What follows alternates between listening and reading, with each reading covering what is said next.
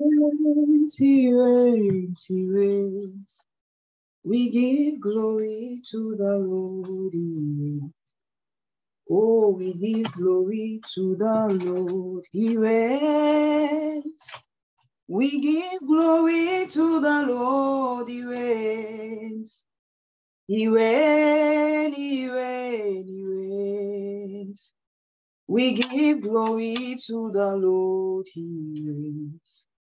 Adoration to the Lord, he reigns. Adoration to the Lord, my God reigns.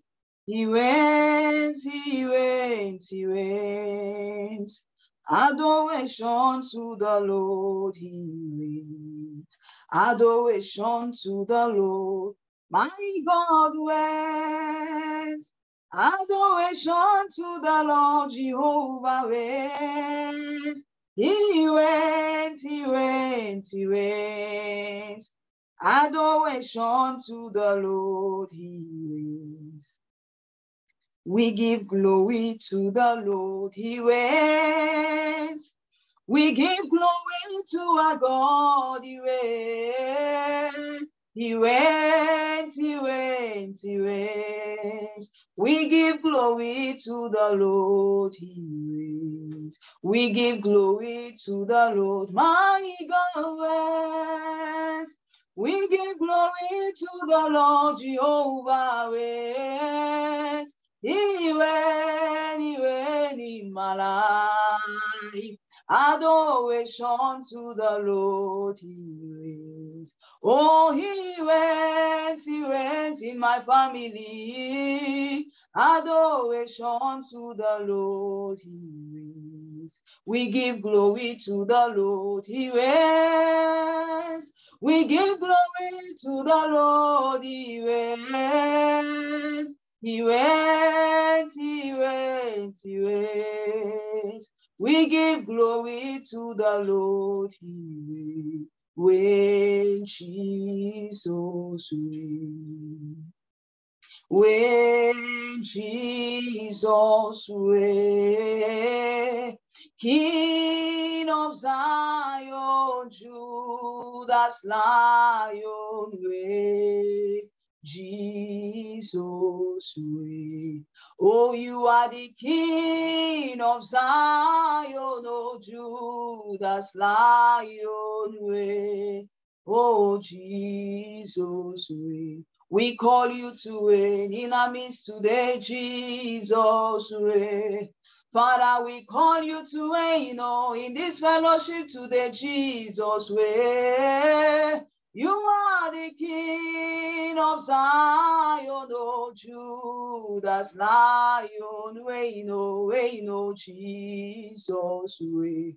Oh, you are the King of TTW, oh Judah's Lion, reign, oh Jesus way.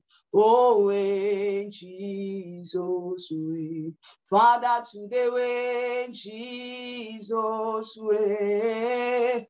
The King of Zion, Judah's Lion way. Jesus we. You are the King of Zion, oh Judah's Lion way way, no Jesus way. For you are the King of Zion, oh, you are Judah's Lion way. We say Jesus we, Hallelujah. We give you glory, Jesus. We exalt your name this morning. Father, we want to thank you. We ask you to have your way this morning. It's all about you, Jesus, and none about us. Take the stage this morning and teach us, Holy Ghost. We yield ourselves to you with hungry hearts, willing to receive from you. We pray that we'll have receptive heart this morning and that when you speak, we'll know you have spoken and we'll take it into action. Blessed be your holy name this morning. In Jesus' matchless name, we have worship and pray. Amen and amen. Hallelujah. I just want to welcome each and every one of us to the Ladies' Feast. It's the third Monday in the month of July. And as always, we always have our Ladies' Feast. I just want to welcome you. If you're joining us for the first time, you are very much welcome. We are delighted to have you. We pray that you just stick with us for the next one hour, 20 minutes or so, and we are sure you're going to be blessed. And for those of us who have been part of this assignment, I just want to say thank you, very big thank you for all your sacrifices you make to be here every Monday. We are so glad and grateful to have you. We are live on Facebook. Please go ahead and share the video go ahead and share the video. Patience is something that, as I said on the group chat, if I had my way, I wouldn't have said anything today. I just wish somebody would have spoken. Let me learn because I have a lot to learn when it comes to patience. But that's the way it is. Sometimes I just need to do what I need to do. So please go ahead and share the live video. The link has been shared on the WhatsApp group. So you can go ahead and share that on your status as well. Why you shared on the live, why you share the live video. So.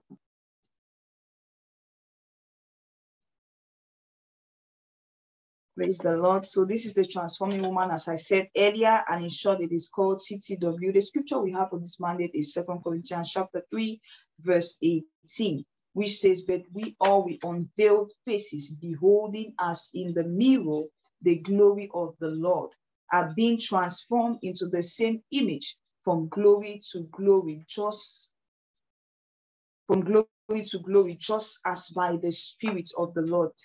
Can you check Facebook to see if it's okay?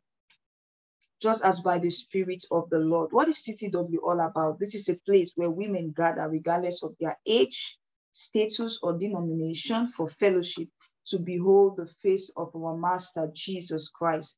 And in the course of that, they evaluate themselves daily, not for condemnation, but for spiritual good. It is a place where women are trained to thrive, understand understand time, season, and stand the gap in the place for themselves, family, and nation. We use the word woman as per the title of the gathering instead of women because it is a personalized decision to be made by every woman depending on how hungry she is in need of the master's help. We gather for now every Monday to worship, share the word of God, and pray our way into our pre-designed destinies. It is a gathering of total surrender and a place where we have only one objective and no alternative, which is either Jesus or Jesus. Our mission is to gather to fellowship with the Holy Spirit and evaluate our lives daily for spiritual growth. Our vision is to raise a generation of women who are passionate for God. They are conscious of their life in the secret. They are ready to fulfill purpose, enjoy marriage, and promote godly parenting. Our values are love, humility, compassion, self control, giving, excellence, and sacrifice. So that said, we're going to go straight ahead to the main thing for the day. We're going to go straight ahead to the main thing for the day, which we're talking about how to exercise patience, how to exercise patience. So I'm just going to try as much as possible not to talk a lot with the anticipation that we are going to contribute, including Kelly.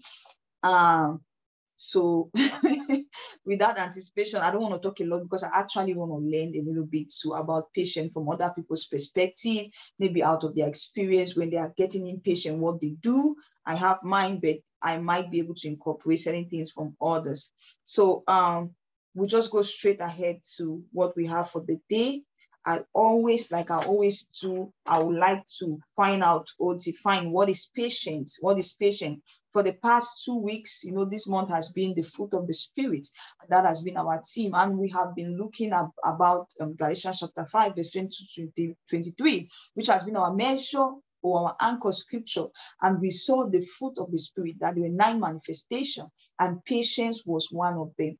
We all know that it is actually very, very, very difficult because when we talk about patience, we're talking about you finding yourself in a situation that is not favorable, something that is not sweet, something is not something you will not pray to behold. That's when you need patience, right? So you actually do not need patience in the good times. You need patience in the trial moments. You need patience in the time when things are not working out. Your expectations are not coming to realization.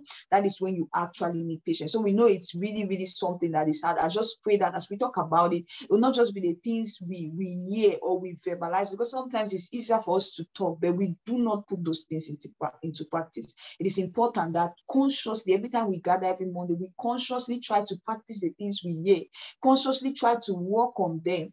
I mean, I remember there was something that happened, I don't know if it's this week or last week, and it kind of, you know, almost got me irritated because something we have been waiting on and then you know we keep calling every day they say okay tomorrow tomorrow tomorrow and one day i, I just wanted to get uh, maybe no today's monday so that should be early last week and i just thought about oh we are in the month of the fruit of the spirit and i said to god because something that you know it's like you know those sort of things you always say you have the right to be angry although there's nothing like that but you feel like it's so justified that if you explain to everybody they'll be like ah these people too they can be very funny. So sometimes it's like you should lose your patience. I remember we are in the month of the fruit of the spirit and i just remember because i was almost i i was so angry my spirit i just had in the liver and said holy spirit please help me just help me. And after about one hour i realized that that anger everything went down. Why? Because I put in effort to practice the things we are we are actually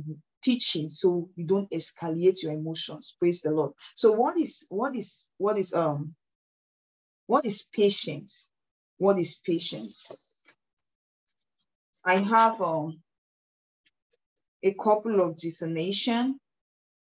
Yeah. You know normally we have always known and i think most people know that patience is waiting without complaint. So I think that's kind of the definition we most know that patient is waiting without complaint, without complaint. But I would like to talk about something else, you know, to add something to that definition. But before I add, I also have a definition that says patient is the capacity to accept or tolerate delay, trouble, or suffering without getting angry or upset. I'll read that, read that again. Patience is the capacity to accept or tolerate delay, trouble, or suffering without getting angry or upset. The question is, we kind of know what patience is like. Maybe even not with the way we verbalize it or the way we define it, but we kind of have it in our mind what patience is all about. But the question is, let's say you actually you have an appointment or there's something you're supposed to meet with somebody, and you know the person says, okay, let's meet at 10 o'clock, and you are waiting for that person, right? And at 10 o'clock, the person is not there. You just sit and you're watching TV. Could that be that you are a patient person? Because I want us to start from that note, trying to understand deeply what patience is all about. Because I feel like sometimes we feel like being uh, being silent, kind of if you just have a particular posture, it means you're a patient person. So from the example we gave, I'm waiting on somebody and the person is not there. We have to do something. It's very imperative. But then the person is not there and I decide to sit, maybe watch TV or maybe do something. Could that be that I'm a patient person? But just to go ahead and answer it while we are pondering on the question, there is a tendency that in such a situation, 98% of us in that situation, we are not patient. Though sometimes we cannot be, we are not verbalizing what, because some people have different way of expressing their impatience. So though sometimes we might not be verbalizing the word, but then the fact that we sat on that particular posture does not make us patient, does not make us patient. The real definition of patient is the ability to endure it without complaining so it's all about sometimes we may sit and we murmur in our heart, we grumble in our hearts. Once you are grumbling in your heart, even if you don't verbalize it, that process when you're waiting and you're grumbling is still a sign to show that we are impatient. So it's not just all about our actions, it's all about our attitude. It's all about the things we think inside and the way we express it. All of them encompasses of what it means for someone to be impatient. So some people, when they go through some seasons of their life, people around them may feel like, okay, they are impatient. But now when we, especially when we talk about our relationship with God, he that sees everything, you know, the thoughts we think about, how we grumble, how we murmur, how we, we disregard, we talk about something else, we feel like we just want to let it go. That is not a sign of being patient. It's a sign also of being impatient. Sometimes some of us too, you might just sit and say, okay, the person is not coming, but you discover that you are not sitting, you know, uprightly you are just you know, that's a sign to show you are not talking, but your body movements. Maybe every 30 seconds, how many of us have been expecting a visitor or you expect somebody you love and you are looking at the time, you realize that every you are watching movie, it looks like you're doing something, but every 30 seconds you go to the window and open. It's a sign of impatience. So it's not about sometimes our actions, our attitudes, and the things we think in our hearts. Some of us murmur in our hearts. So it's all about those things. And we we I believe we are all children of God. Patience is something that cuts across, you know, even those who are business people, are leaders, and unbelievers. They know, even though they do not read the scriptures to know the fruit of the spirit and understand the manifestations. However, they know that it's a virtue that is needed. So we all need patience. We all need it. Some of us have it to an extent. Some of us, most of us need to work on our patience level. Some of us are actually, I don't want to say zero, but it's really, really right, right down there. You know, people who say, I don't take nonsense from people are impatient people, and which will be seeing some few things today that I know that the Holy Ghost is going to bring it to us and help us to become better.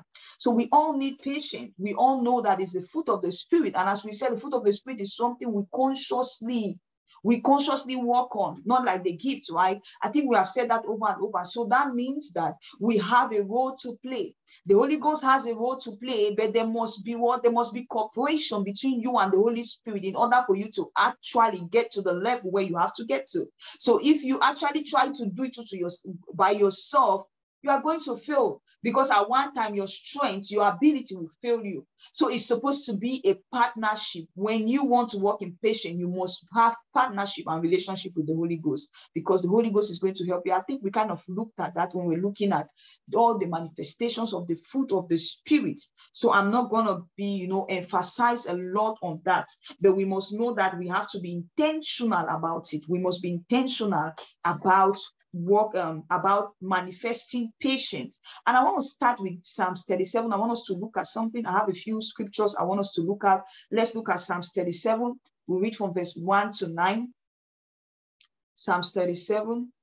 The Bible says that do not fret because of evildoers, nor be envious of the workers of iniquity, for they shall soon be cut down like the grass and wither as the green herb.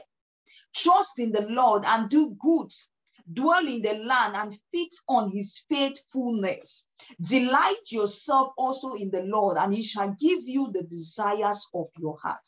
Commit your way to the Lord. Trust also in him, and he shall bring to it to pass. I don't know if we're reading together with me. He shall bring forth your righteousness as the light and your justice as the noonday. He says, Rest in the Lord, verse 7, and wait patiently for him.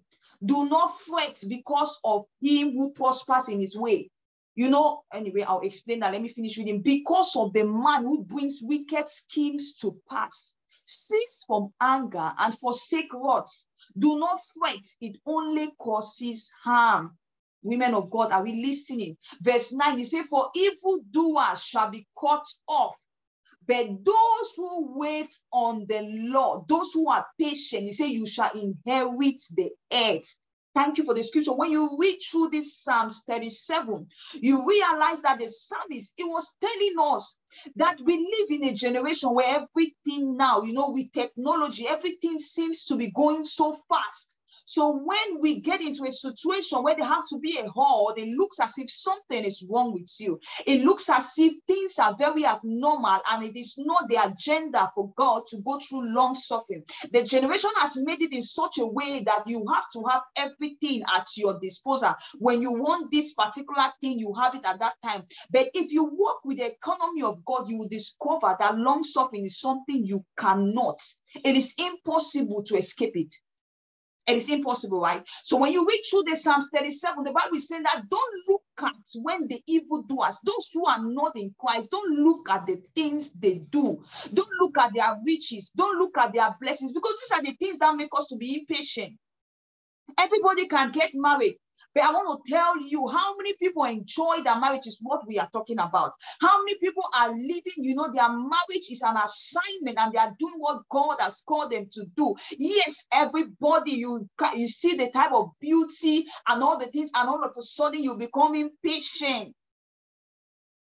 You compel the man to do certain things because another person who is not in Christ is doing it. And Psalm 37 is answering us that don't focus on those things because he understands that one of the reasons why we become impatient is because of the society.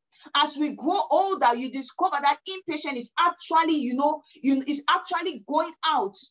The virtue is no longer available. We don't have the patience to wait. We don't have the patience to wait for our timing because there's an appointed time. We're going to see that in the book of Habakkuk. It is written there. There's an appointed time for everybody. But we don't want to wait. We want to compare an appointed time of somebody else with our own appointed time. And the psalmist is telling us that there are people who prosper, but it's not of God. There are people who actually look like they get all what they, they got at their own timing. But the question is, how did they get it? It says, do not focus. It says, those who those who get riches, those who get blessed, those who have everything they want at the same time, he said they will soon expire. He said, but for those who wait on the Lord, he said, you shall inherit this earth. He didn't say heaven, he said earth. And when they talk about inheriting the earth, you inherit the goodness of this earth because there is good in the land. You inherit the goodness, you inherit the riches, you inherit the blessings, and the blessings of the Lord make it rich and does not add sorrow.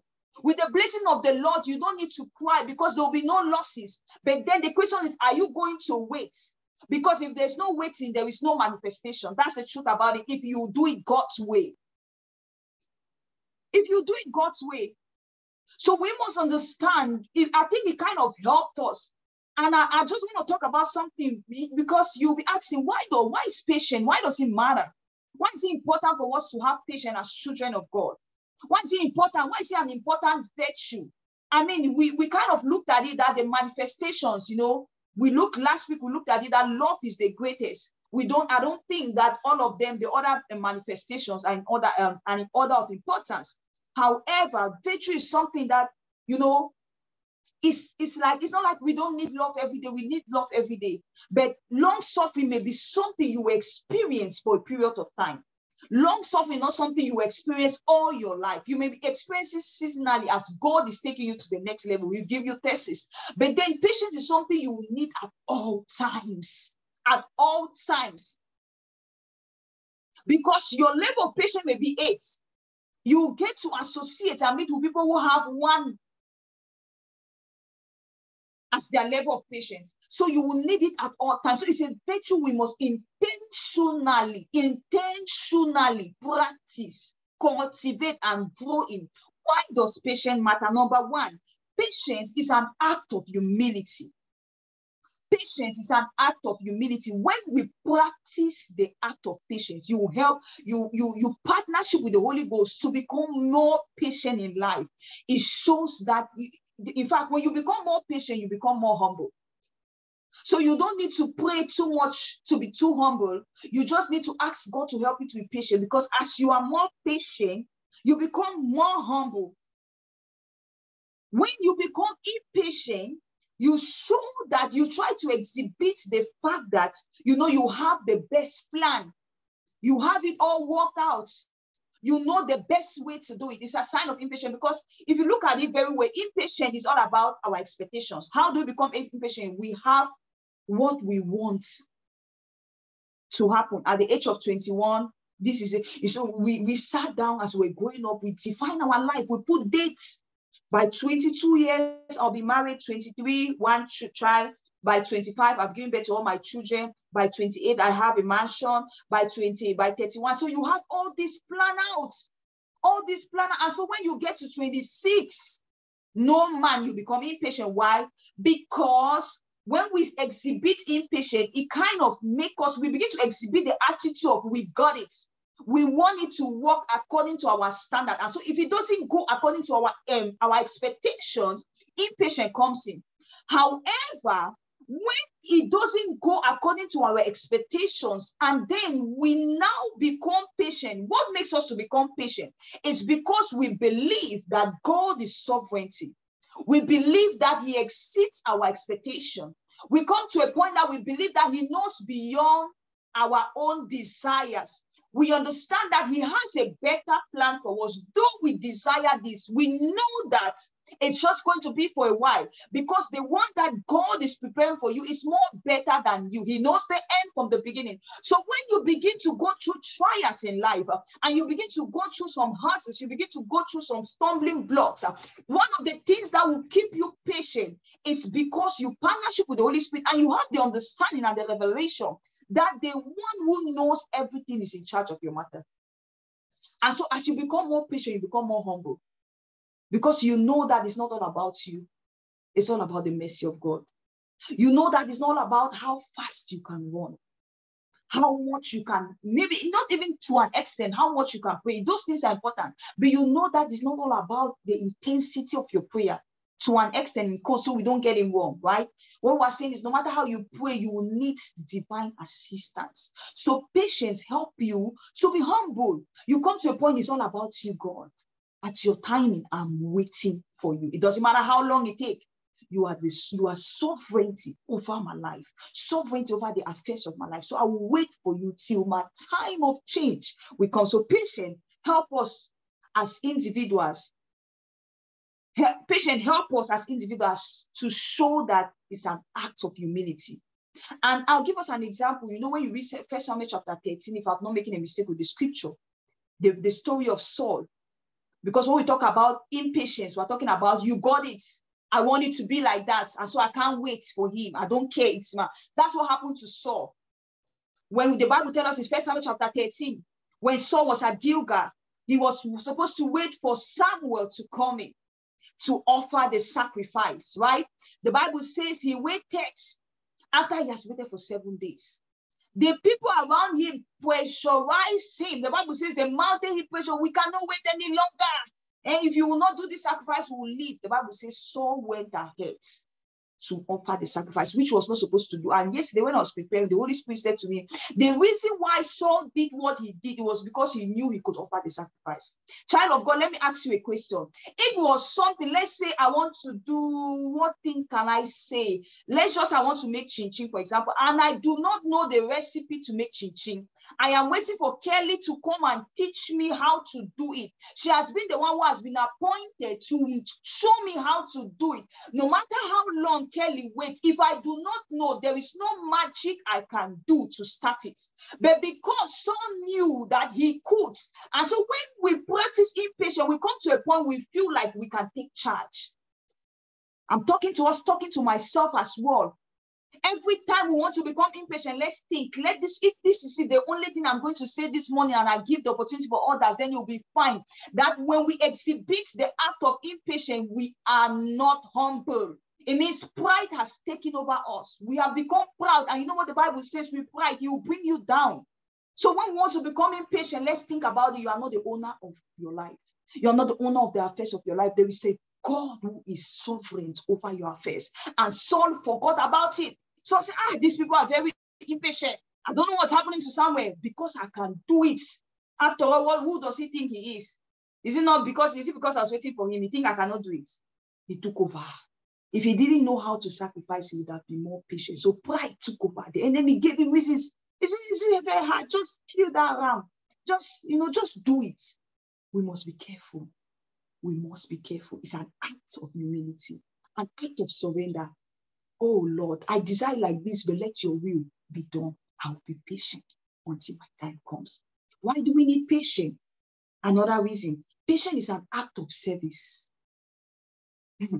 One thing I learned about impatience, which I'll talk about in another point, is that in most time when we exhibit impatience, I when I heard this, I was just guilty. When we exhibit impatience, it's a sign to show that um what word can I use? When we exhibit impatience, it's a, it's a sign to show that we are we are. Um, let me see. I wrote it somewhere. I'm not very sure where I wrote it. It's a particular word I want to use. Okay, it's a sign to show that we are selfish which I don't, I'll, I'll, talk about it when I get to a particular point. It's a sign to show that you are selfish. Because if you discover, I looked about, I'm very impatient sometimes when I'm driving.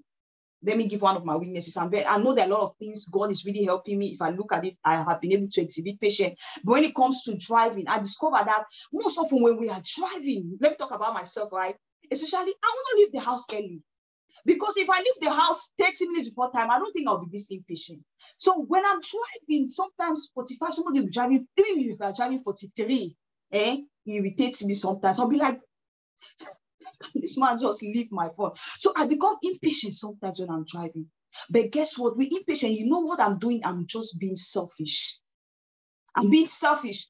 I do not care about the person driving behind me. But I'm so interested about the person driving in front of me because I want to have my way.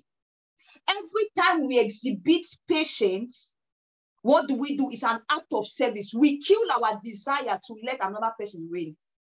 We kill our desire to let another person's desire go forward. It's an act of service. So when we become more patient, just like your relationship with your children, you can imagine how, how naughty they can be sometimes. Or those of us in the health field, when you deal with elderly people, when they're experiencing dementia, that's the highest place you can you can you can develop your patient. When somebody asks you one question 92 times within 30 minutes, it's not funny. And he expects you to answer them the same thing over and over. It's not funny. You discover that what are you doing? You are serving that person. It's an act of service. So the more you begin to be patient with the elderly people, the more you are patient with the children, sometimes even your spouse. Sometimes I ask my husband, how many times will you ask me? Did you not ask me this question yesterday? you ask me again today as if you know, the more you do that, you begin to serve them. Because it's easy for you to get irritated at that time. But what do you do when you bury that irritation? You don't allow that flesh to arrive at that moment. You have just served them. Though you are repeating yourself, you have allowed their own emotions to take over. Then you, you suppress your own. But when we become impatient, it's all about I don't care about how you feel. I don't care if your car has a problem. I don't care if you are not feeling good. If I were, if you just drive on the on, on, on, on the right side of the of the lane, I don't see why you should be driving on the left side. It's for those who can drive with speed. So allow those of us who like travel speed, you know, so a lot of things we say them, is in me included, is because I just want to have my way at all times and I don't want to serve others. So every time we practice patience, it's an act of service. The next reason why we need patience as individuals, as believers, is that patience is an act of faith. And we all know that, right? Even if you read through the scriptures, you read through the scriptures, the Lord, there are so many scriptures, so many that tells us about patience. Now, you know, when we go through patience, it's all about between, you know, the season of patience is season between expectation and manifestation. It means that time in between when that thing is not tangible, you can't see it. And when you go through the scriptures, all you see is promises. Promises is not what you eat. promises, you can't take the promises like that. We know, we know the promise of God, they are so sure. But then though we say we, we say they are sure, we only say they are sure out of faith. Right? Because when you read the scripture, when God promises you that if you are patient, you will get reward, the reward does not come instantly. You just have to believe. That is where faith comes in. You are believing what you have not seen. You are believing what you don't even know if you come to pass, it will not come to pass. So every time we exhibit the attitude of being patient, what do we do? We work on our faith. It's an act of faith. We tell God, I believe in you.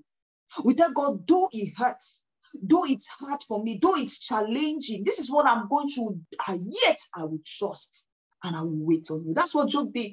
He waited. I will wait on you. He had faith in the Lord that though everything has been taken away from him, his sheep, the cattle, the children, everything, his health, he said, I will wait for my appointed time. Why? He was able to activate his faith level, increase in his faith level. So why we need it? Impatient people rarely exhibit the, the, the virtue of faith. If you are impatient, you can't because you won't even wait. So how will you, what is faith? You are believing God that what he has said, he has done. It is done already. You are just waiting for the manifestation. So it's an act of faith. It's an act of faith when you recognize that God is the one that orders your step, when you believe it, you don't just read it, you know that truly everything happens according to his plan. It has pleased him for it to be like this. It has pleased you know, you believe, you become patient, even when sometimes ah, the highest place I've learned patience more is in this ministry. I've learned some level of patience in this mission, and God is helping us day by day. Quickly, as I said, I don't want to take a lot of time. I want people to give me their own. I want to talk about what can we do? Remember, the, the, the, topic today is how can we exercise patience? So it's all about practicality. We're not just looking at scriptures. How can we? So it's a practical step. What can you do to be more patient? What can you do to build your patient level? I have some few points here I want to look at. The first thing I want to talk about what you can do, how you can exercise patience is to stay focused on your ultimate goal. Stay focused on your ultimate goal. If you want to exercise more patience, now we are women of the kingdom. We are children of God. We are not here accidentally. As a child of God, you understand that. So, beyond your own personal expectations, beyond your own personal plans, beyond your own desire, we all have an, an ultimate goal. Let's look at James chapter 5, verse 7 to 8. You have your vision, you have your assignment, you have your plans, but there's an ultimate goal. The Bible says, therefore, be patient, brethren, TTW women, men. He said, be patient until the coming of the Lord. So if you are not yet dead, or if Jesus Christ has not come, patience is a virtue you will need daily. It's not something say, oh, my patience is over. It's, it doesn't work like that if you are working with God. Therefore, Paul was teaching us that be patient, brethren, until the coming of the Lord. So that is our ultimate goal. He says, see how the farmer waits for the precious fruit of the earth, waiting patiently for it until it receives what? Early and later rain. You also be patient. Establish your hearts for the coming of the Lord is at hand. You know what Paul was teaching us? That we must be careful. You know, there are certain things when you start working with God, eh, one of the things you do is when you meet impatient people, when you begin to meet some people who are just trying to push your button. When you have, as a child of God, when you have that ultimate goal, that's what that's what is helping me. The ultimate goal is what directs your path. It's what adjusts your movement. You don't move by the things that happen. The things that happen around you are not the things that control you.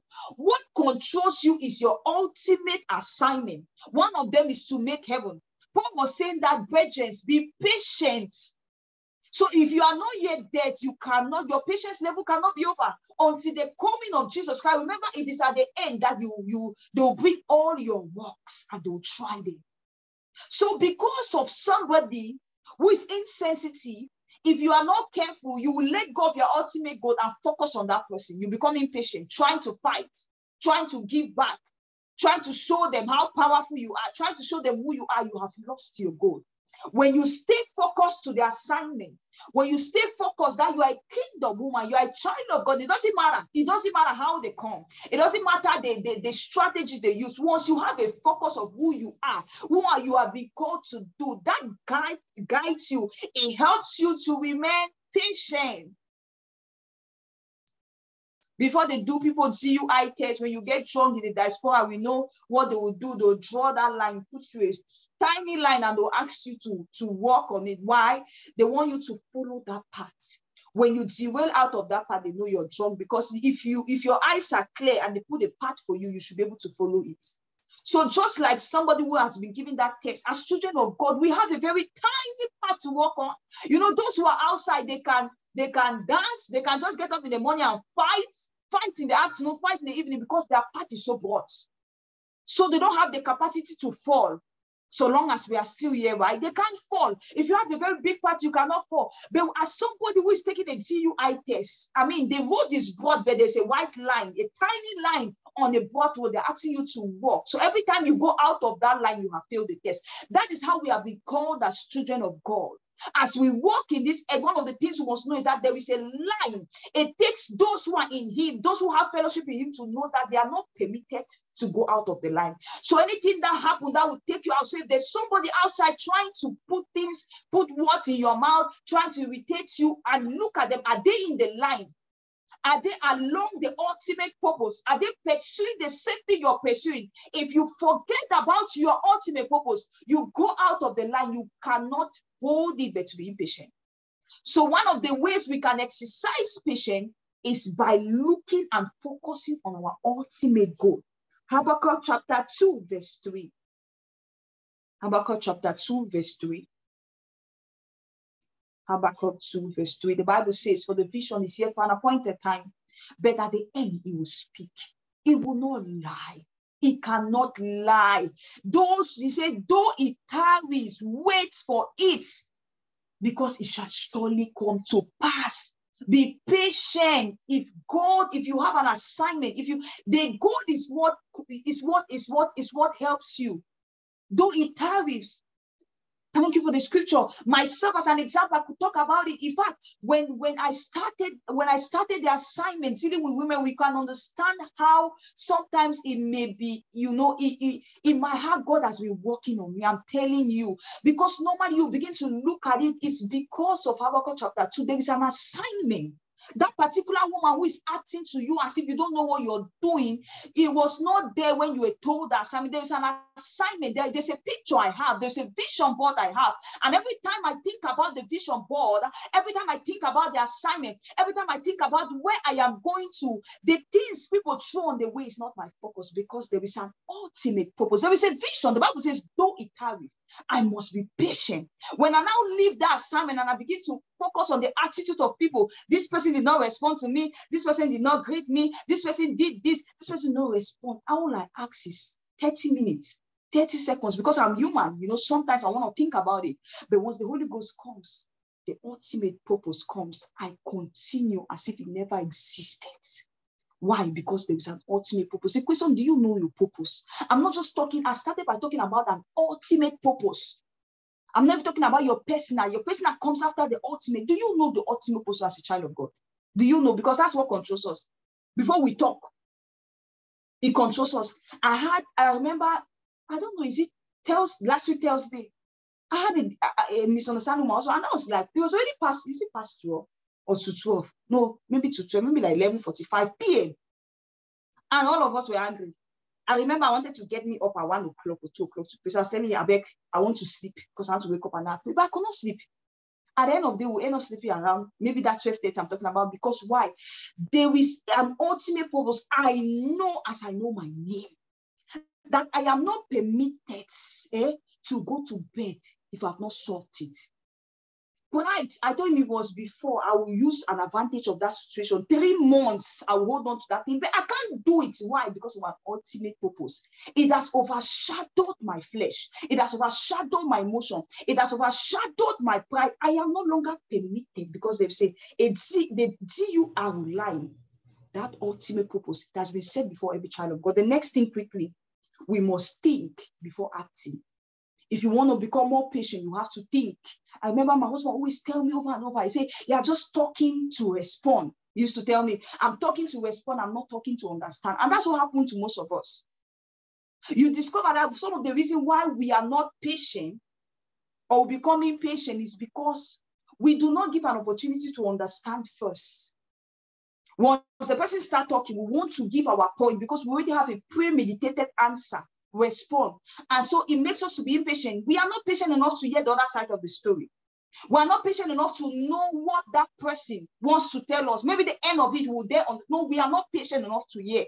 Hey, as a person started, no, no, wait, wait, wait, let me tell you first. You know, we are not patient. So if we want to develop more patience, we must develop the attitude to listen first and understand before we respond. It helps us. Most often, if you wait and hear to the end, you now understand, oh, this person didn't intend it like this. But originally it sounded this way. And it has saved you a lot emotionally because the devil, that thing, when you are emotionally hurt, it has a way plays with you. It, it eats you up. If people, that's why there are a lot of people who might be angry with me, for example, and I don't know, you know, I have peace of mind and they don't have peace of mind. Because the more they see me, they get irritated. And it happens to us sometimes, especially if you have not cultivated this attitude to work with the Holy Spirit and make sure that you make your heart clear from every malice. If you have not cultivated it, you see it like fun to keep it, then they see a problem. So if we want to work on our patience, we must work on our way that we talk and respond. Proverbs chapter 15, we'll look at it. That means we must have to apply patience with our tongue. We must control it. In um, Proverbs 15, verse 1 to 2. The Bible says a soft answer, ten, answer turn away wrath, but the harsh one stirs up anger. The tongue of the wise uses knowledge widely, but the mouth of fools pour forth foolishness. And are fools? Why? Is those who talk harshly.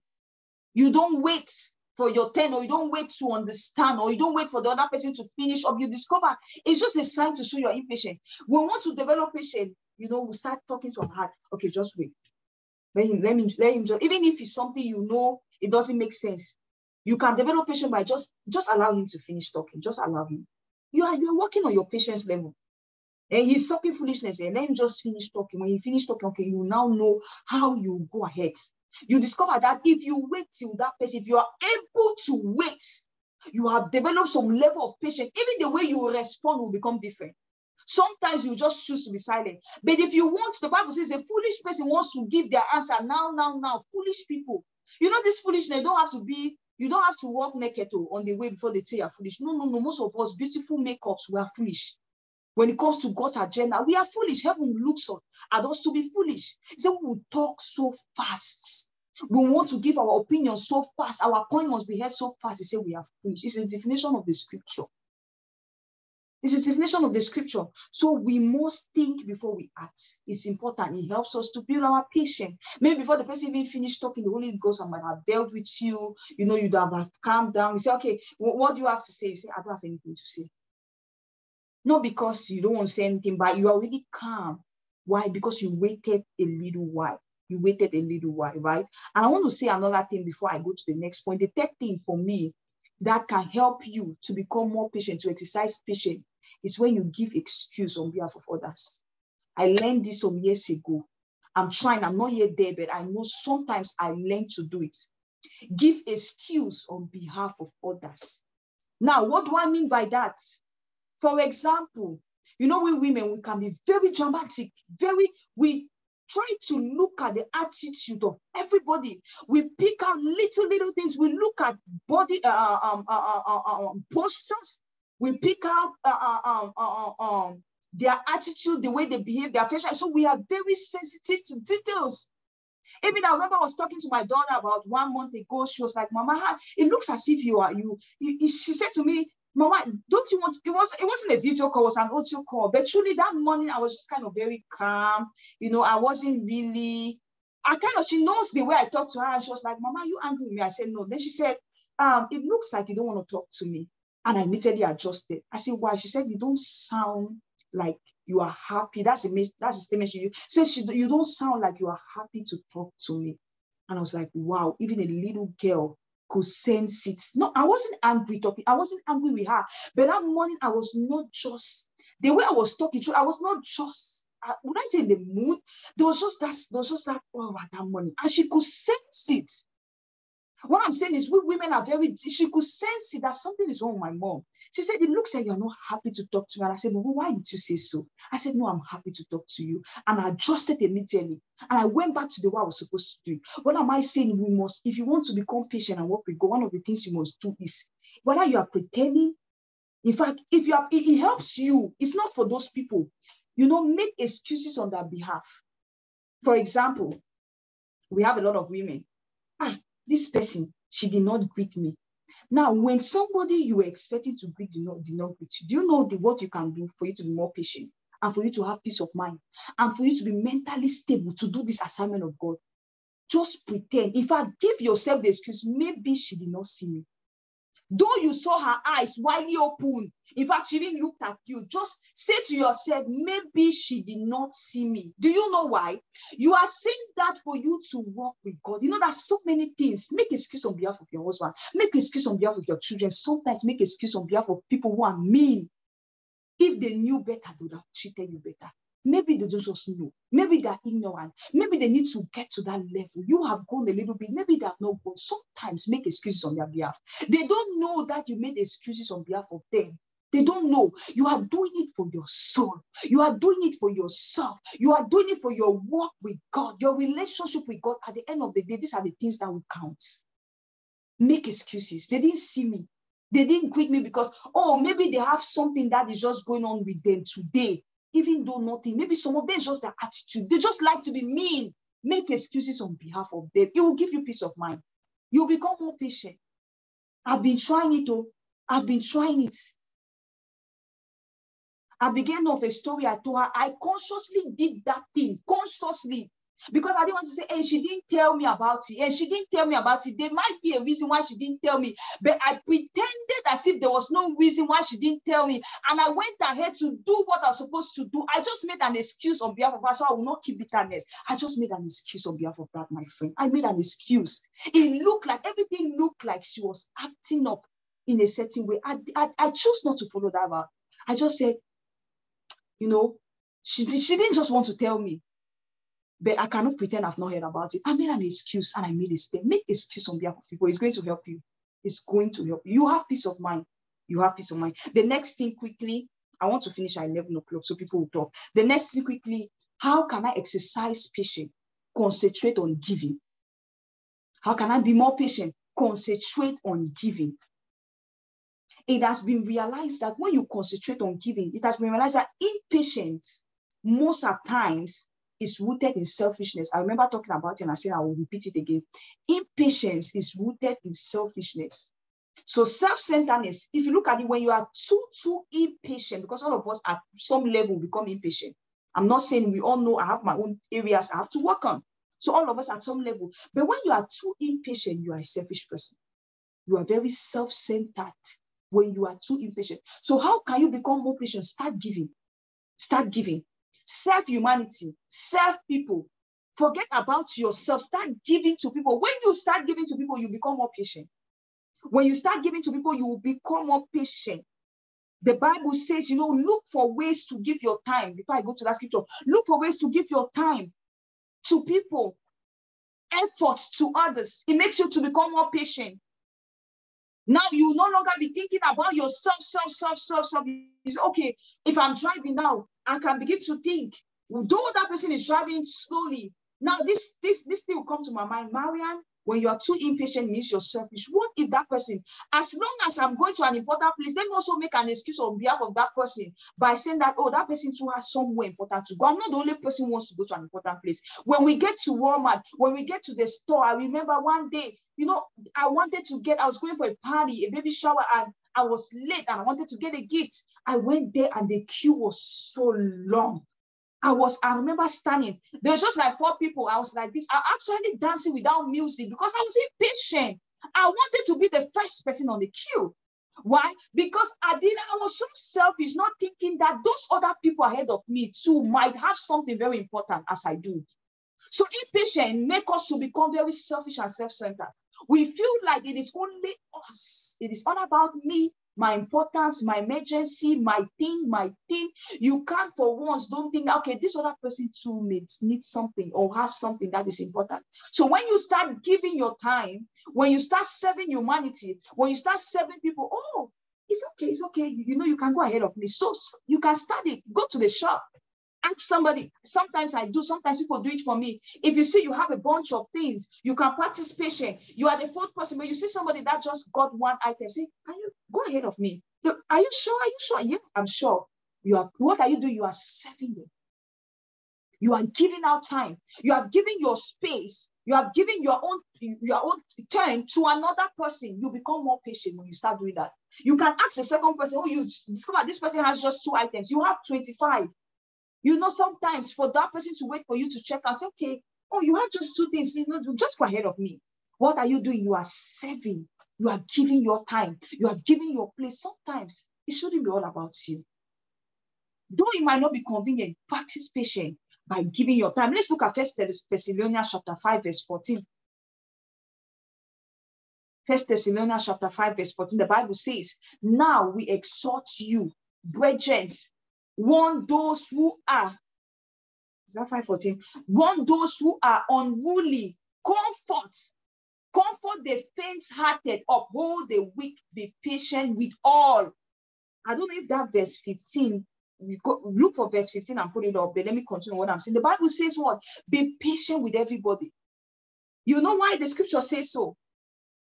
Now, he didn't say be patient with those who are good. He didn't say be patient with those who have good attitudes, those who do. He said be patient with everybody. Means, you know, there's some people that is difficult to be patient with them. There's some people it's difficult when you see the verse 15. Put it, I, I don't know if that's the verse. I want to say something. There's some people it's difficult to to be patient with them. Let me see what verse 15. See that no one renders evil for evil to anyone, but always pursue what is good, both for yourself and for all. Okay, that's I don't think that's the scripture I was looking for. Thank you. Now, there's some people that is difficult to be patient with. Some people just have attitudinal problems. Some people, you know, according to my husband, sometimes he, says that when you work with your katas, you know, the day that they are nice, you just know that they have they are, they have they are in good relationship with their boyfriends. The day that they are mean, you just know that they had a problem with their boyfriend because some of them don't know how to control their emotions. So when they come to work and they are acting up, just know that you are just the the, the, the tool they are using to to to to to release their anger. What am I saying? There are some people who are actually so difficult to deal with. But when you are a kingdom woman, when you have that ultimate goal we talk about, what helps you is that you know that the scriptures asking us to be patient with all people, those who are not good enough. Let me put it in that way. Those who are mean, those who have attitudinal problem, those who have just they look as if they have been wired from hell specifically for your sake. It seems as if they designed them for you. You have to be patient with all those people those who have offended you, those who have hurt you, we must be patient. Colossians chapter 3, verse 12 to 13. We must learn to overlook shortcomings of others. Colossians chapter 3, verse 12 to 13. The Bible says, Therefore, as the elect of God, who are the elect? We are the elect of God. You are the elect, I'm the elect, holy and beloved. He said, Put on tender mercies. When you say put on, there's a consciousness put on, you deliberately take something and put it on. You say you should wear. So virtue is something you have to wear. Patience, sorry, patience is something you must wear. You can't. So when you are leaving your house, if you keep your garment of patience, it will be, it will not be an easy thing. Oh. If you look at the head, it says a character of a new man. You are a new woman. You are no longer the person you used to be. When you get up in the morning before you go to work, wear the garment of uh, patience. You have to wear it like a cloth. He said, put it on. Tender mercies, kindness, humility. These things were not born with them. Meekness, long suffering, bearing with one another and forgiving one another. He says, if anyone has a complaint against one another, even as Christ forgave us. So Christ is our role model as you also must do. Wear patience as a garment before you leave the house. We all know in marriage you need two garments or three garments because you don't just need a regular garment in marriage for you. You need a thicker garment. That one that when that thing come, it will not affect you. The type of garment you wear during winter in New York, that's the kind of garment you need for patience. So we must wear it. God is patient with us. For that sake, we should be able to be patient with others. Another thing I just want to talk about, I have one more minute, but let me just say it, is, let me see, I have two points. Okay, let me just talk about this foot one. When people are giving their own illustrations, if there's time, I'll talk about the foot one. I'm sure somebody else will talk about it. You know, is to talk out our tensions. Is to talk out our tension. You discover that when you look at when we look at our life, you discover that most of the things we become impatient about, the conflicts we have with people, friends, spouses, children, and all the rest, you discover that sometimes those things we see them to be like annoying to us. It's not annoying to everybody. Sometimes when, when I see, I'm sure when my, I'm angry, sometimes my husband will be like, he doesn't see the sense. Many times I don't see the sense. Sometimes angry for something, I can't understand why he's angry because for me it doesn't make sense. So it's the same thing. We must come to understand that things that make us annoying may not be annoying for everybody. And at the end of the day, most often the things that make us to be impatient is it comes from a result of our viewpoints, the way we view things, the way we see things.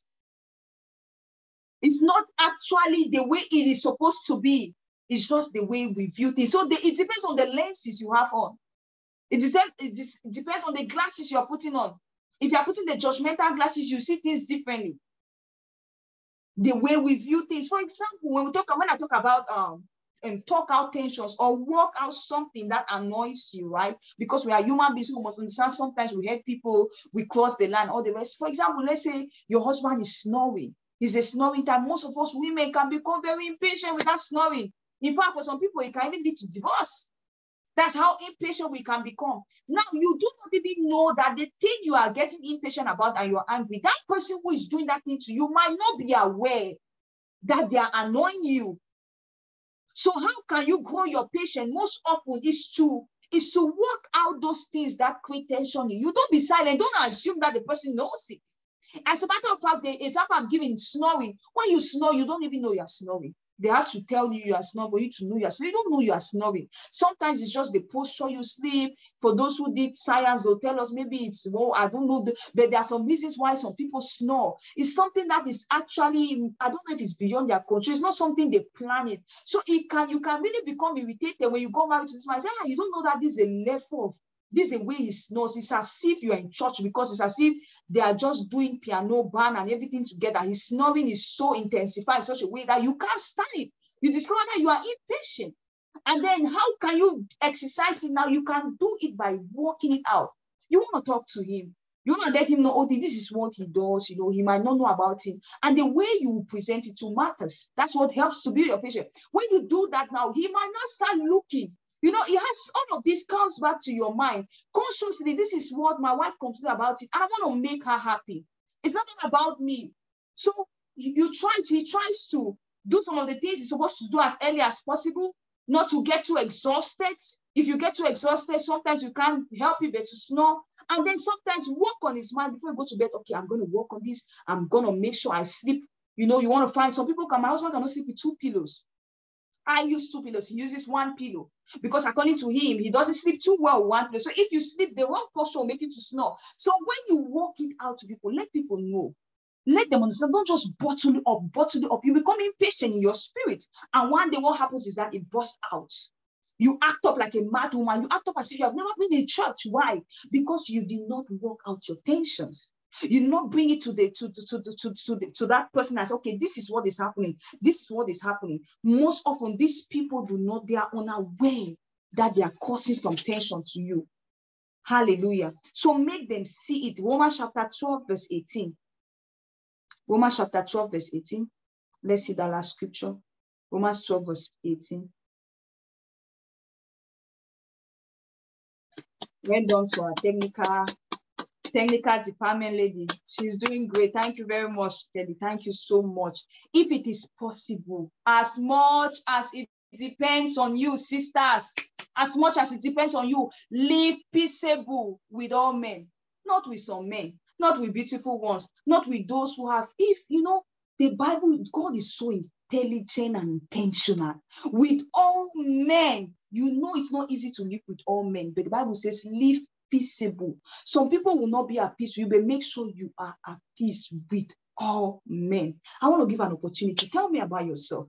Tell me what you think. How can we exercise patience? I want to learn. How can we exercise patience? The floor is open. And if you're on social media, you have a contribution, you can go ahead and, and text your contribution. I always watch it and I'll see your comment. I'll read it for others to, to, to, to get it. How can we become more patient and exercise patience? I want to hear your contributions. Marion. Good morning, sister. Yes, please. I'm sorry. I just, I'm kind of a little bit impatient because I have to go somewhere. So I'm just going to talk and before I go. Yeah. So um, my own points, um, how to exercise patience. I would like to um, talk from my own um, experiences. I love to bring my experiences, not because I like to put myself out there, but I, you know, sometimes it's better to, you know, be raw and let people understand that this thing, you know, we all face it. I'm one of those people that I used to be very, very impatient. Even now, God is still working on me. So it's not been easy. Like growing up, um, I remember my grandmother would tell me, you know, when I go to ask something from her, and she would like, okay, you know, you did this, you know, she'll bring all those things you did and all that. And I get angry. And I'm that person when I go to ask one time, if you don't give it to me, I will just go. I'll never ask again. So she never liked that attitude because comparing with the other children, they will keep up asking grandma, please give us this, please. Even no matter how she shouts, she'll give it to them. But me, when I ask her one time and she doesn't give it to me, I'll be impatient, I'll leave. That's me growing up. I used to be like that, you know. And she kept doing that. She kept saying that, oh, I'm too proud. And I didn't see it that way until now. And then when I start looking back, I saw it as pride. You know, the Bible says, um, Matthew 7 7, right? When he says um seek or ask, there's a version that says keep asking. Yeah. The door will, will, be, will be given to you. Keep knocking, the door will be open, and keep seeking, and you will find. And that's the attitude that God wants us to um, to um, to exercise when we are you know talking about patience. Sometimes when we say patience, it doesn't mean we keep quiet, be silent, and do nothing. You know, especially when you say, Oh, I've gone to God one time, I asked God about this thing. God says, Okay, be patient, I'll give it to you. Doesn't mean you can bring it back to God to pray. Now it's the posture of your heart. How do you go to pray? There's something the Lord showed me in um, Psalms, Psalms 40. Psalms 40, verse 1 says, I waited patiently for the Lord, and he inclined to me and heard my cry that, that just that one verse, he said, I waited patiently and he inclined and heard my cry. Means the man was not silent. The man was talking to God. He kept uh, David kept asking, get, he kept crying out to God to come and help him, to deliver him out of that horrible people, out of that uh, miry clay situation. The Bible says, you know, he delivered me out of the miry clay, out of that horrible pit. So a miry clay might be a situation where there is a delay because a miry clay is a, a slippery situation. It's like you're going forward, you're coming backward. Your legs cannot come out. One time I said about something like for those that come from Africa, we say poto poto like the more. You, you know, you go forward, you come back, you go forward, you come back. So it's like a delay that had happened in his life. And he was in that position where he was crying out to God. The Bible says he waited patiently for God to deliver him. Waiting patiently did not mean that he was silent.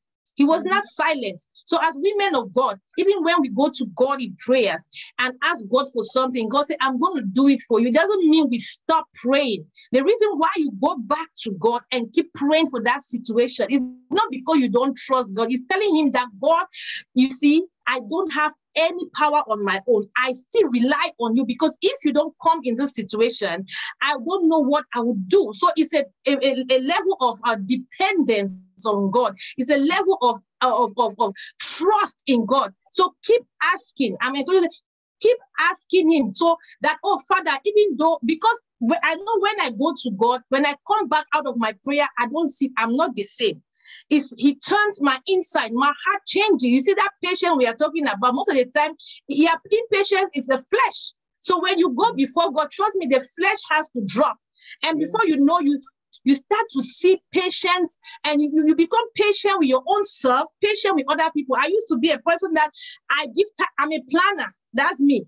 Before today, now I already plan what I'm doing next week. In fact, by the time I get, I have to do this, do this. So I used to be like that. I'll plan, I'll say by this time, the man talk about it. I said by this time, 30 years old, I'll be married. I have these kids. And then it came to pass, it's not happening. I come to realize that sometimes in life, there are detours. Sometimes in life, you go left, you go right. There's sometimes that God begins to reroute you in his own way. It's not yeah. always our way. Sometimes like you have to be patient with the process. There's something I want to talk about process. Process in the sense that what? God might be taking you through a process. James 1 says what? He says, Count it all joy when you go through various trials because what your faith is being tested and that faith it will produce patience Exactly. So we don't like trials. And when you come to the Father, yeah, give me patience. God is gonna give you trial. He's not gonna give you patience. Patience is not gonna come. He will give you suffering. He will give you trial for you to build that patience. So the Bible, we should count it all joy. Mm. So when trials come, don't be running away from it. Because if you run away from the trial, then you will not exercise that patience. Mm-hmm. Look, let's look at two scenarios. I think you mentioned Saul, but I want to look it from a different angle. Let's look at Saul versus David vis-a-vis. Saul and David. Saul, the Bible says what? Saul was a, he lost the father's donkey got lost. He said, Oh, go and look for it. He took the servant. And on his way, God had already told Samuel the prophet, He says, Since Israel demanded a king, I'm going to give them a king. And the Bible says God rerouted until he went to Samuel. I'm going to cut it short. And then Samuel said, Oh, this is the intention of God. God want to make you a king and all that. So he was put a king. He didn't go through no process. And you know what happened with his life. The man became impatient. There was no process. He did not go through any training, nothing, whatever. He was mm. just put in because he looked handsome. And God said, Yeah, you look handsome in this. Remember, even the time when they were calling Saul to come out, when uh, Samuel was about to announce him, the man went and hid himself because he know mm, I can't. He was hiding. They had to push him out. Come out. You are the king. And the people were rejoicing because they saw the structure. They saw how good he looked. How this. And sometimes you might look all put together outside, but the inside is not ready. So sometimes God is saying, I want you to be patient in the process because you're not ready yet. And look at David. David was anointed at 17 years old. He only become a king at 40. That is a long time. The man before, even when he defeated Goliath, he says, I have been doing, see, I defeated, I killed the bear, I killed the lion in the back in the wilderness, in the desert, when nobody knew him. And he was anointed, but he, he did not sit on that throne. He was fighting battles. Saul wanted to kill him. So the man went to the cave and hid himself. He did not say, Oh, I'm going to feed. Well, God had they, they, announced me. Because there's something that the Lord showed me. Because when he went to the they said, All the people that were discontented with life, all those people that, in fact, the rebels, and all those kind of people, debtors and everything, they, they came to Saul and they came 400. And the Bible said he turned those men into great warriors. Yeah. Somebody, if some, some of us would have said, ah, now that I have all these people I've turned into them, let me go and deal with that Saul. In fact, that seat that he's sitting on it, it is my my birthright or it is my seed that God, I know God called me for this thing, even though you know that God has called you for a particular thing or God spoke to you. There was a prophecy that released, but maybe you have to go through the process. Maybe you have to be patient to go through that process so that when you get to that palace, you are able to maintain that seed he was able to maintain that seat until he passed it over. Even God swore. He says, Because of you, David, he says, Your lineage will forever be kings. Kings will come out from your lineage. It was not a Saul did not get go through no process. And guess what? Because of his impatience, he lost, he's lost his throne. He lost his throne. Something happened to me. I'm going to cut it short. Sorry for your time, but something happened. I remember I used to work. I did my um I used to I used to be a CNA, right? I did my um my LPN. I was working with one lady, and this woman, you know, she the woman I was taking care of, she really took care of me. She was so good to me at that time, and I was going to school, so it was not easy. I was going back and forth, go to school, go to work, and it was not easy. But this woman was very understanding and all that. And that season, I, I always I said, God, thank you for using this old this old woman to you know be a blessing to me. I didn't see that way. And now I got my license as a nurse, as an LPN, I got my license, right? And now I'm looking at, okay, the, this how much are they even paying me you know and anytime the woman says something i get agitated i get angry and i started you know like please you know i don't even care about this job you know after all, I have my license now. You know, you can look for someone because she was like, I'll look for someone. I said, Yes, go ahead, go ahead. After I was talking, oh my God, I remember that day. I was so like inside, I was so angry, like, oh God, I deserve this. Sometimes we say, Oh, I deserve this. Oh, I deserve. Mm-mm, you don't deserve that if God does not give it to you. And I remember when I spoke to her in the living room. As I went into the, the bathroom, the Lord spoke to me. It was so loud. And He says, check your attitude. And the Lord told me, He says, your attitude will determine your altitude. He said, I cannot take you anywhere if you don't check that attitude. And He told me, say, if you are not faithful with little, I cannot give you more. I, in fact, I lifted up my hands and I said, God, I am sorry. Forgive me. What am I saying? So in the process of saying, I want to be patient, you need to check your attitude. What is going inside? You can say, Oh, I'm silent, I'm not saying anything, but mm. inside your heart, your heart is grumbling, your heart is murmuring, and you're telling God, I deserve this. I've been seeking you. Look at this person. Now we start comparing people. Look at this person that does not even seek you. And now we just read a scripture. He said, Don't look at, don't fret at the, the you know, one an unbeliever or an unrighteous person is being prospering. And don't fret, wait on God. And something I, I wrote down for how to uh, uh, uh, uh exercise, have the, the, the, the, the, the, have gratitude Thank God for the little you have. Thank God for the life you have. Thank God for what you have. That is how you, you exercise patience. You have to have that gratitude. Say, Father, even though I, I, I, want that house, but you know, I thank you that I have a shelter over me. See, I have this house. I'm able to pay my rents. And even when you even asking God, you want to go to the next, how are you even taking care of another man's thing? The house that you're renting And sometimes God, sometimes we live in a house. That's something God, God was talking to me because we say, Oh, I just want to move out of here and go to the next place. And God is saying, but the house I've even given you, you have not taken care of it. See, you mess it, you tore the carpet, you're putting paint everywhere because it's not your property. If you cannot take care of somebody, so why are you rushing to go to go and own your own? Who gives you your own if you don't know how to take care of somebody's own? And you have you are a job, you're being disconnected. Oh, they treat me bad. Oh, you know, to hell with them. all this you will say those things, right? I was like that. I, I get angry. I even brought it as prayer point. I lifted up the, the company. I remember one day, and I scriptures. I was praying. I was, you know, I was like, God, you know, I work, I work for these people and they are not paying me well. They are using me. I was just angry and I'm praying. And after I prayed, God just looked at me. God told me, you know what he told me? He said, I want you to pray for them, that let them prosper. I said, what? yeah, God. I said, what are you talking about? I'm praying that they should give me my what I'm due, and you are telling me to pray. And I have to learn to be patient and not having my way.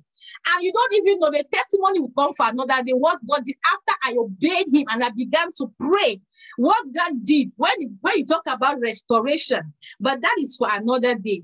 And the second thing to round it up here, the second thing I talk about gratitude or content, be content. The Bible said, mm. First Timothy 6, verse 6, it said, Godliness with contentment is great gain. Yes. And that's something the Lord spoke to me some years mm-hmm. back. Me just waking up from sleep one day and I heard in my ear, godliness with contentment with great. And I did not even know the scripture. I had to go and Google what scripture is that. I didn't have a whole thing I wrote and I began to repent because I, I was not saying it, but my inside were dissat- I was dissatisfied. I was impatient in me. And I and I began to said, Father, forgive me, help me to be content in this season. Help me to be content. And the last thing I would say is that learn from others, be gracious to others. Be gracious to the people around you. Learn. I think Maria was already said, spoken that one. Learn from others. My husband is a very patient person, but I'm the opposite. And I'm, I'm learning to be learning from him because I, I always see that, I always argue with him all the time, arguing, arguing. But later on, I realized that ah, actually he was right. And now I'm, you know, it's like, oh, oh, now I cannot say anything again because I will argue like this is my point. It has to be like this. It has to. So I'm kind of learning to, you know, learn from others, learn the attitude they put, learn from the women around you. Thank you so much. Sorry for taking your time. Thank you very much. Thank you. Thank you. That was amazing. That was amazing. We are live. Please don't forget. Ah, if you're on Zoom, you have not shared. Me, I don't understand this is TTW member. That's fine. Go ahead and share the video and won't like to hear another contribution from somebody else. Thank you, Dr. Martin.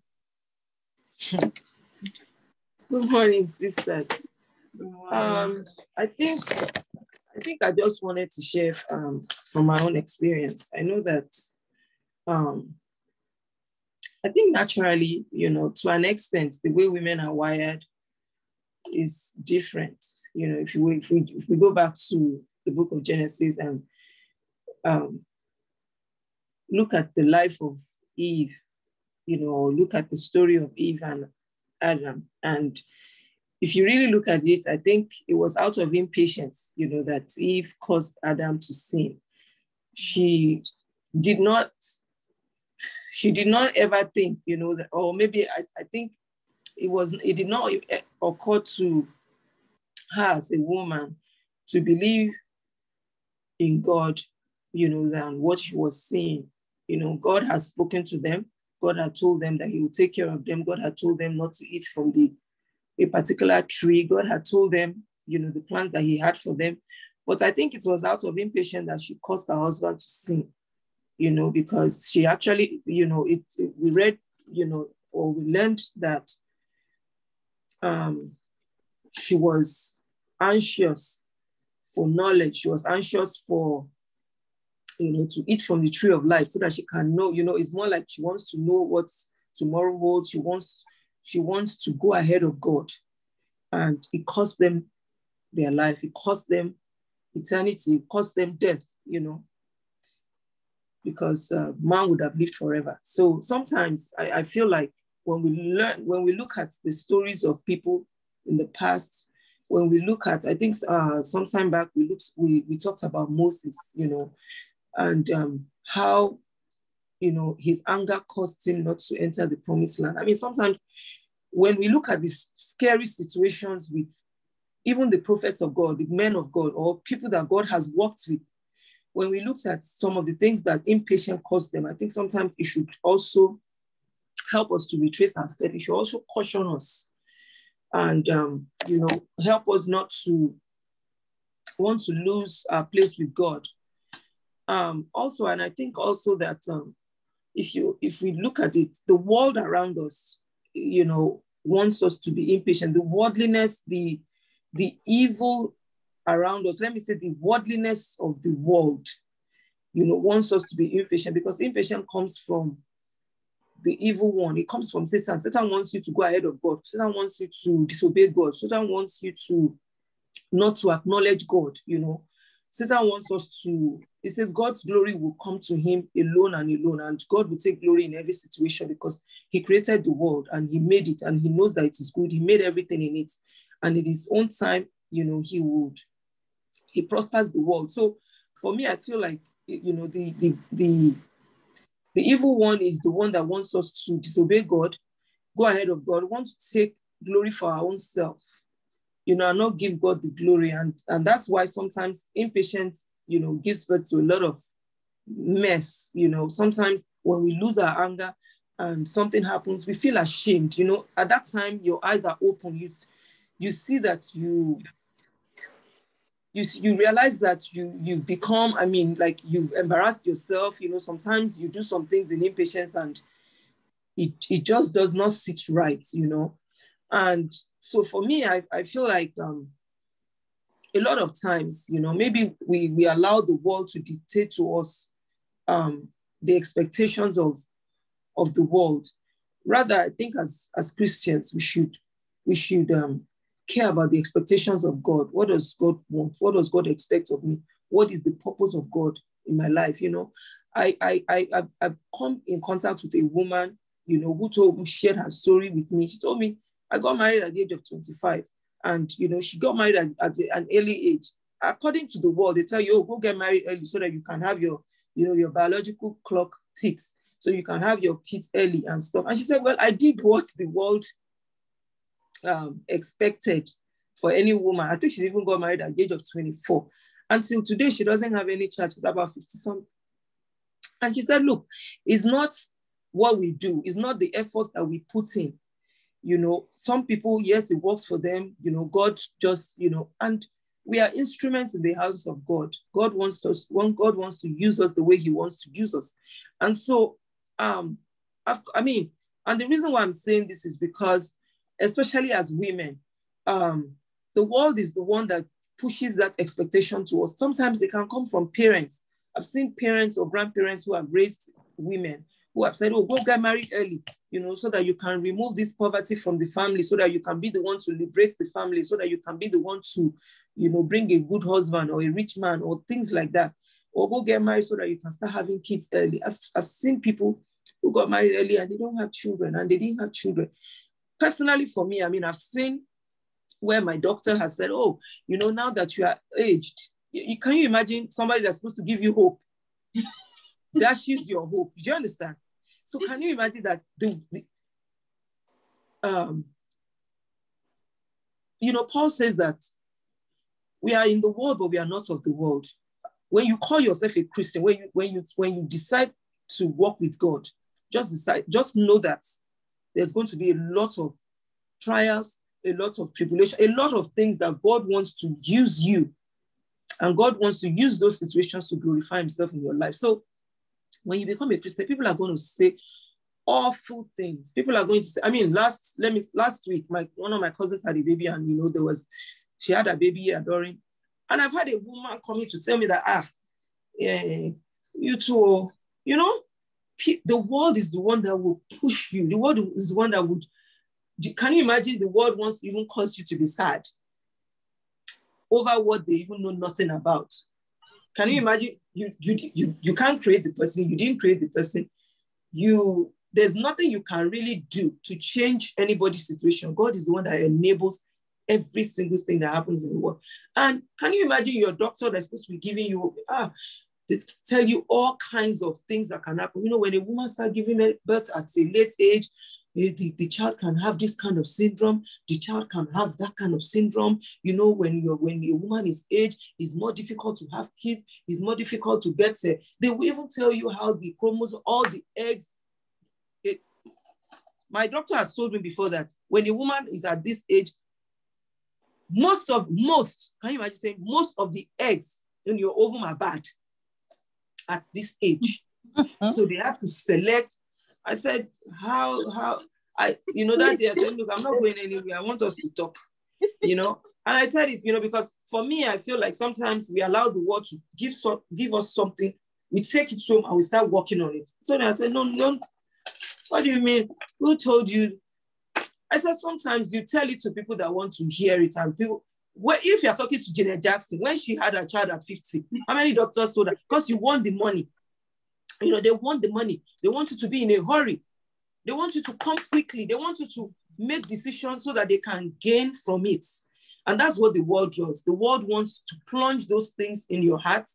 You start doubting God. You start doubting yourself. You start fighting with your spouse.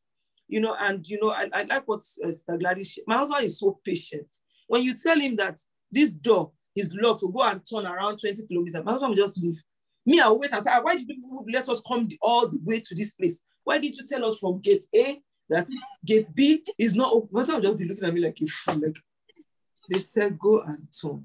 And he will be entering inside the car and going and say, you, you know, he's like, do you want to stand there?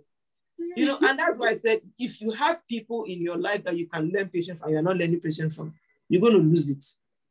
Because yeah. if Eve had learned from Adam, Adam that has been sleeping in garden for how many years before they made her, Adam that saw fruit that he didn't eat, Adam mm-hmm. has been there working with the animals, Adam has been working with God. And you just brought your impatience to cause a whole generation that God has made to suffer. Wow.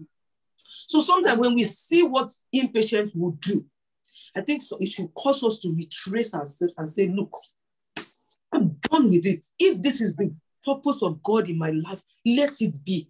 You know, this morning, my husband has been out of town, you know, on Saturday, since that the weekend, you know, and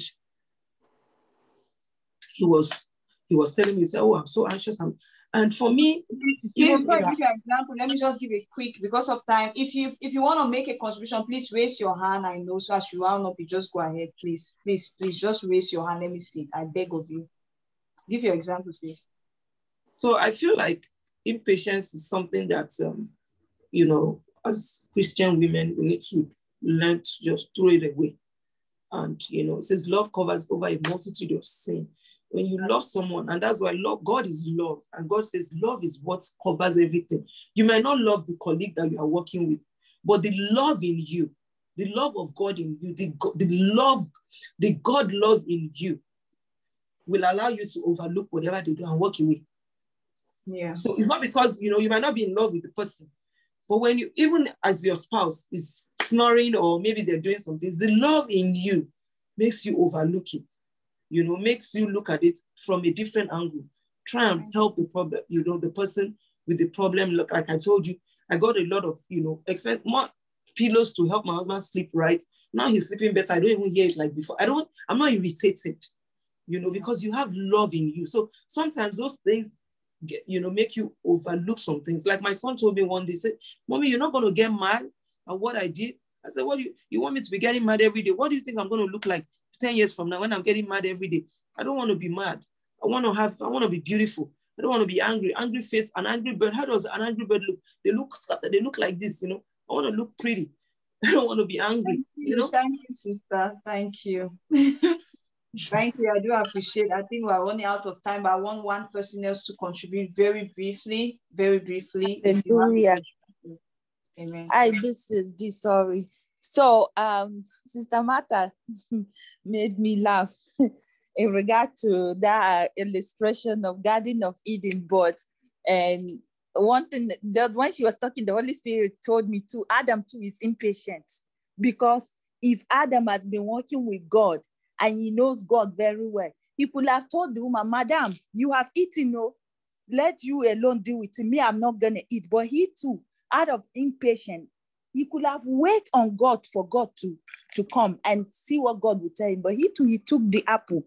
I guess it's love, that kind of stupid love, where some of us who fall in the love, they say love is blind. No, love, love get eyes. Oh, you will have used his senses, but because he's been there before her. So, but you know, he knows God, he knows the voice of God, he knows the commandment of God more than her. But I think he contributed to that too. So that is just by the way, that's what the Holy Spirit told me. So my own what I wanted to talk about is about, you know, in the in the book of Genesis um, 16, 16 verse 2, you know how Sarah pushed her her husband Abraham to go into Hagar because of lack of impatience. But also at the other hand, also him, Abraham himself, contributed to that because even if that's just what God is, is, is telling me, like even if somebody is pushing you to do something, you, if you know your God, they know their God, because the Bible made us understand that they that know their God, they shall be strong and do exploit. So you should not waver.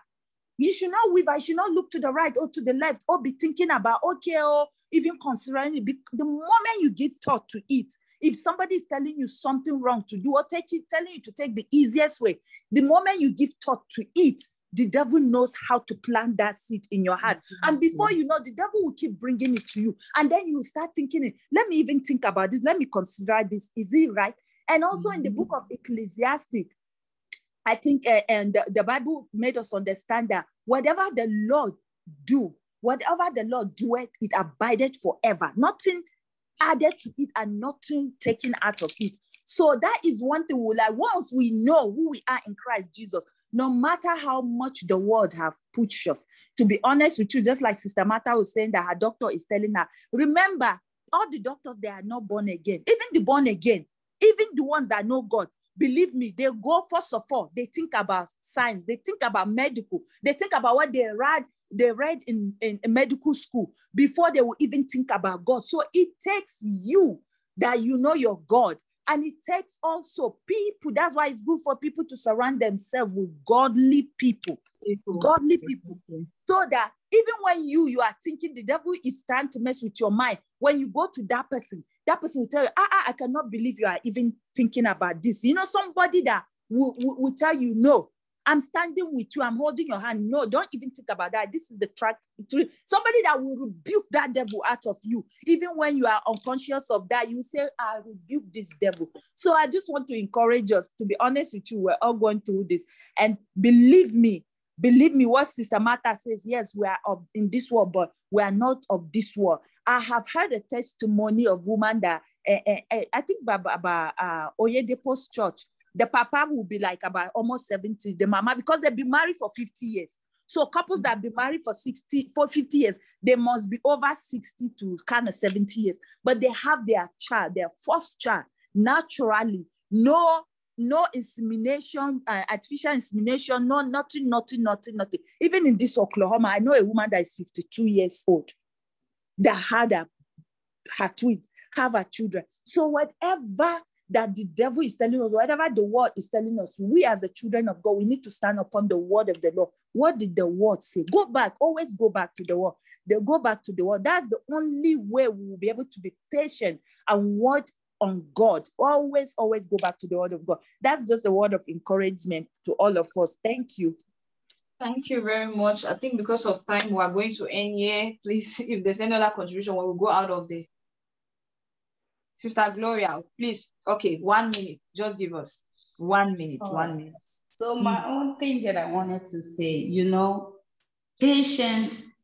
To be patient, we have to be an athlete. You know, we're running this race of patience and impatience. There was one thing that I learned from being patient. I'm a kind of person, quick, I can snap. And then I sat down and remember. I remember my husband used to do some kind of habit, keep like talking, talking, talking, talking. It never went through. And one day I was praying and God told me, He said, Listen, you are the one that is not patient. The scripture He gave me was in Matthew 7 5, where it tells us to remove the log from your eyes. Sometimes our eyes, what we hear, what we see can result to impatience. Hmm.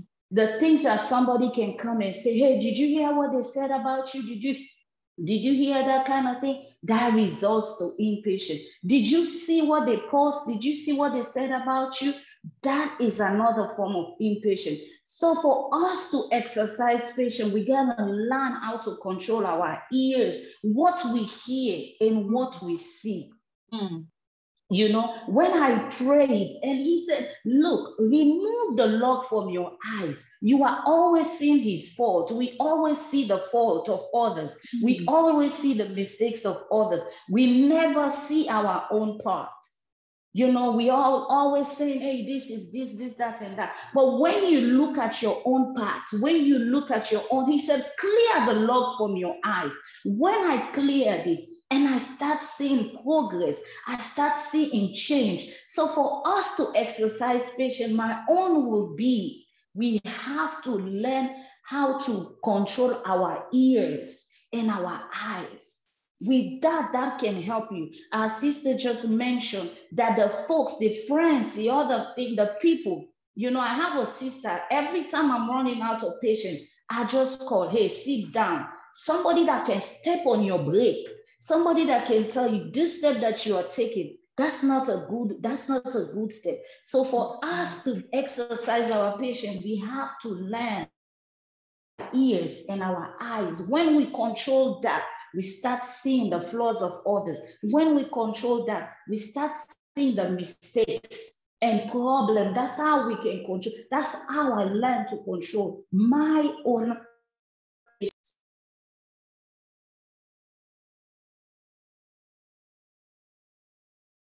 Okay, your volume suddenly ceased. But that's that was an amazing point, controlling our ears and our eyes. Wow, that that's that's you know some of the things we go through now. We see all the really fine, all right. We just try to amplify things that are not looking for us. So let's ignore the ones that are not looking for us and focus on the things that matter. Thank you so much. This was an amazing one. I I know that maybe more people had contributions after the Zoom. I pity those who on social media. After the Zoom, I know people usually sit back and give their contributions, but because we are trying, I know we have gone eight minutes above our time today. Thank you for your contributions, but let's just take 30 seconds. I want us to pray. You know, this is a prayer group. All of these things we are saying must be connected to the supernatural. All these things we have studied or we have learned today can never be possible without the help of the Holy Ghost.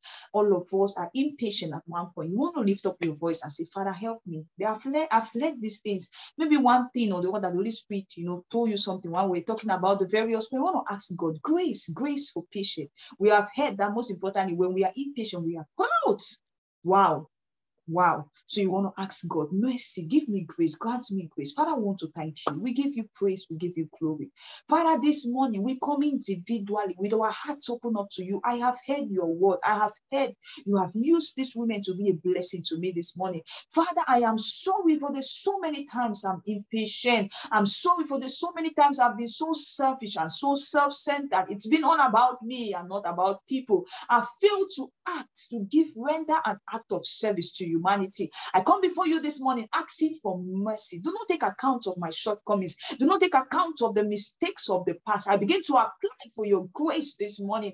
I promise you, God, I want to have a relationship, a fellowship with the Holy Ghost, that the Holy Spirit is going to help me in order to be patient, to grow in this virtue. And I pray for each and every woman and individual listening to us this morning, that that same grace be available in the life of each and every one, that the words we have heard this day will not not just hear them, we will put them to practice. That Lord, as you'll be giving us tests, because they'll actually be in test. Some of us, as we are going to work, there's a test waiting for us. You will help us to pass the test. That the test of life, we are not going to fail it. The test of patience, Lord, we are not going to fail in the exams of life. In the name of Jesus, grant us discernment, grant us wisdom, grant us sensitivity to be able to know when we are writing an exam in the realm of the spirit and when we are not writing. Father, we submit ourselves to you. We pray pray that that grace be available. Give us that garment of patience that every day when we are home, when we leave the house, we'll wear the garments and we'll be able to present you wherever we find ourselves. We give you glory for today. We thank you for the words we have heard. May these words bear fruit. May these words bear fruit that our children will see a change, our spouses will see a change, our family members we know we had an encounter with the word. We thank you for today because we know that only you would have done what you have done. Father, let your name be glorified. And as a fellowship, as a family, this morning we decree and we declare that this week is open in the name of God the Father, in the name of God the Son, and in the name of God the Holy Ghost. We decree that whatever thing we lay our hands this week, it shall prosper. We decree that the windows of heaven are open for us. And this week will not be a victim of casualties. This week we decree and declare will not be a victim of misfortune, will not be a victim of accident, will not be a victim of pain. We cover this week with the precious blood of Jesus. We take authority over this week. We decree that God's counsel concerning our life will stand. In the name of Jesus Christ, we have prayed. Amen. Let's share the grace. May the grace of our Lord Jesus Christ, the love of God, and the sweet fellowship of the Holy Spirit rest and abide with us now and forevermore. Amen. Surely goodness and mercy shall follow us all the days of our lives, and we shall dwell in the house of the Lord forever and ever. Amen. How much I love the Facebook family. Thank you so much for joining us this morning. You have a beautiful and amazing week. Please, please, please, before we go, look out for those of us on social media. We will not be having fellowship next week, Monday. However, we have our second year anniversary on Sunday. We shall be broadcasting it live, and it's just like a whole fellowship. So there'll be word and everything. So look out for the video. We're going to be live. So that will be our Monday message for you. The Lord bless you, and we'll see you on Sunday. Bye.